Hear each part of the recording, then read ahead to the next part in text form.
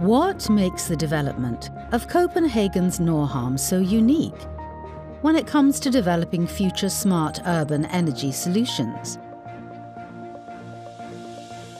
As we all know, production of most renewable energy is dependent on the sun and wind capacity. And rarely does the production match the actual consumption.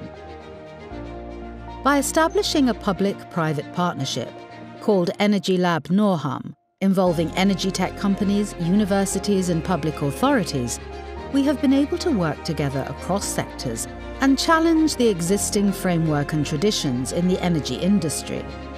This has enabled us to demonstrate and test well-known as well as new ideas on how to transform our energy system to utilise renewable energy on a large scale, in a real-life environment.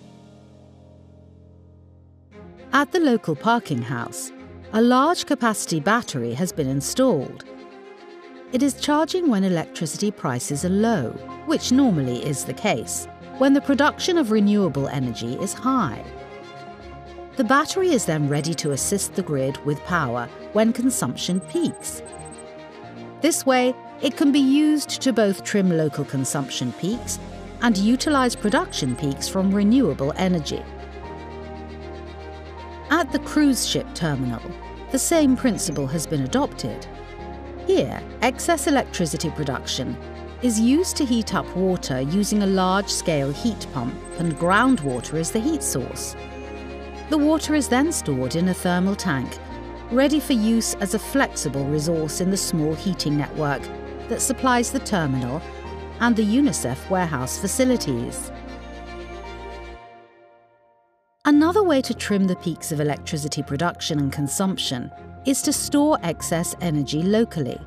One example is increasing the temperature in local warm water tanks when the production of renewable energy is high.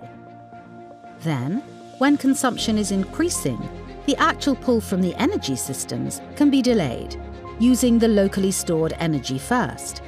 And in the same way, the heat supply to buildings can be delayed for up to several hours without compromising the residents' comfort, thanks to the energy efficiency in modern buildings.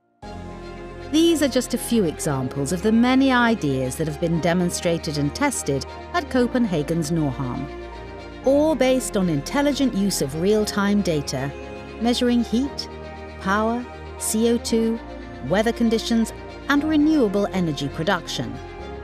Ideas and solutions that can be adapted and further developed in Copenhagen, elsewhere in Denmark, Europe, and the rest of the world to contribute to the common goal of reaching climate targets by transforming the energy system to efficiently integrate a large share of renewable energy to the benefit of society.